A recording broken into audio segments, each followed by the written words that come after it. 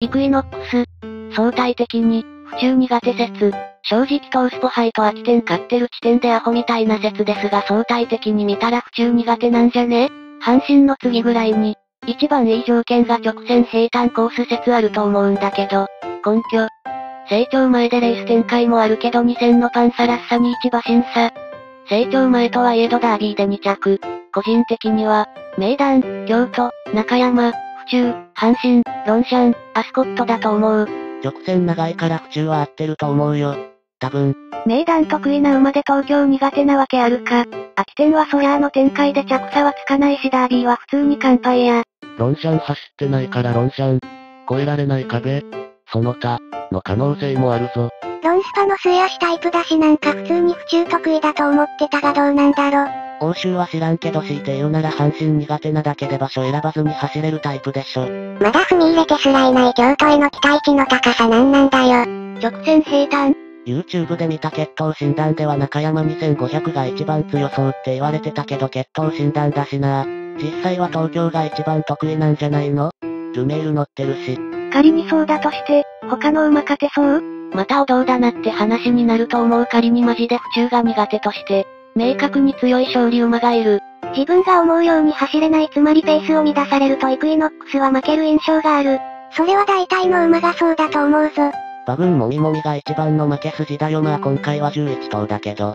血統だけで見たらこいつ有馬春天走りそうな馬やぞ逆になんでダービー走れんねんって感じ。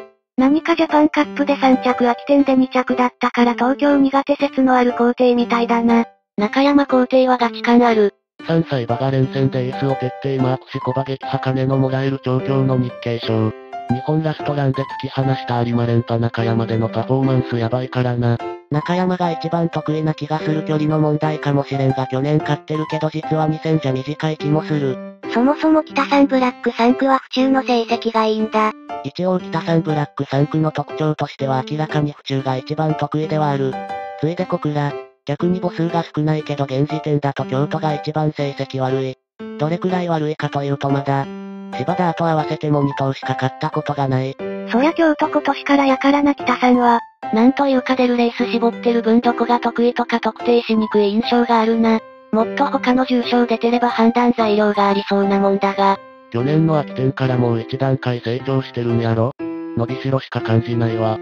宝塚で難癖つけられるのは最後だと思ってたけどこれもうわかんねえな。俺は宝塚はガチでヤバいと思ってたしぶっちゃけ運良かったと思ってるが、それだけに次は得意条件だから余裕っしょぐらいに思ってる。まあよた話の類だろ。双方から左回り相対的に苦手説は確かあったような。左手前族やからね左回りだと直線は右手前で走ることになるから。32秒出せる馬だから心配はしてないが相対的に軽いコースはベストじゃない気はしてる。有馬の芝と坂で府中の広さと直線の長さがある2400あたりのコースがあったら無敵だと思う。宝塚記念は状態がヤバかったってのもあるからな。キム鉄が検疫でメンタルやられて買えば、食えなくなってたドバイよりも状態悪いみたいなこと言ってたし。ドバイはそんな悪かったっけ？最初は苦労したとは言ってたが普通にいつも通りのネガティブくらいの程度だった気がしたけど。キム鉄。美保検疫の一週間が辛かった。まるっきり一頭で、海馬を食べなかった。メンタル的にやられて、いいトレーニングができなかった。信じてもらえないけど、当日ギリギリ間に合ったという感じ。当該週に追い切ってから上昇傾向になった。当日は海馬を食べて、猛獣のようになっていた。戦闘モードに入るというか、本当にそこにうまくはまった。運が良かった。ドバイ前そんなギリギリだったのかよ宝塚前もだいぶ苦労したみたいだね。ドバイより良かったら誰も勝てないだろドージュースも明らかに空き店叩き出し。猛獣イクイノックス。キム鉄の口から猛獣のようになっていたって聞くとなぜか笑ってしまう。もし陣営が府中苦手とか言ったらハットマンと大パンマンが殴り込んできそう。バカみたいな自力があるからこなせてるけど2000やは短いし2400でも府中だとちょい短く、感じるみたいなイメージがある。準中長距離馬だから府中は距離以上に短い。もうこうなったらキム鉄のネガネガインタビュー聞くしかない。なんとか情報得ないとな。宝塚は直線短いし大外回って実質最高峰だったのがあれだったのでは？と。大外にも限度あるしな。宝塚ではコーナーで終始外やし、4コーナーに至っては7等分8等分、間に入るぐらい外走ってる。いくら前崩れとはいえあれで勝ってる方が不思議や。100メートルくらい長い距離走ってるって言ってる奴はさすがに言い過ぎやが、3、4コーナーで9馬身から、10馬身ぐらいは経済コース通ってる馬より長い距離走ってたしスルーセブンシーズと比べても、3馬身から4馬身ぐらいは長い距離走ってたしな。ていうかドバイ当日までにあのコンディションにする過程が綱渡りだったって話だな。一歩間違ってたら絶不調で出てたけどなんとか間に合ったっていう。正直京都記念のドージュースと宝塚記念のイクイノックスには差を感じなかったんだけど、今回のドージュースが京都記念クラスの仕上げでイクイノックスがドバイ以上なら、普通にイクイノックスよな本当にその完成度ならだけど、相手も馬場状態もペースも勝ち方も違うから比較はできないけどまあどっちも強い馬の、勝ち方ではあったな。ただドバイより調子がいいって言っても単純にドバイ以上の着差で勝つってわけじゃないから、結局は何とも言えない。ドージュースも相手強化でどうなるか不明だし、宝塚のあれは宝塚のスルーセブンシーズが強かっただけだと思う外専門より得意だっただろうし。着差に関しては騎手がわざとつけるかってのもあるし実際なんとも言えんと思うけどな。去年の秋天はガチ追いだったけど有馬ドバイ宝塚とムチほとんど入れてないのが気になる。ルメが必要以上に着差をつけないってのもあるんだろうけど、秋天の走りを見るにしばき、倒したらもっと伸びるとは思うんよな。有馬を見る限りレース後もずっと走り続けるタイプっぽいから体が持たんと思ってあんまり、ムチ入れてない可能性。それかルメールが個人的にあんまりムチ入れないタイプだったり。ムチ入れて伸びるかどうかは馬による定期。オルフェイブルもそうだそうだと言っています。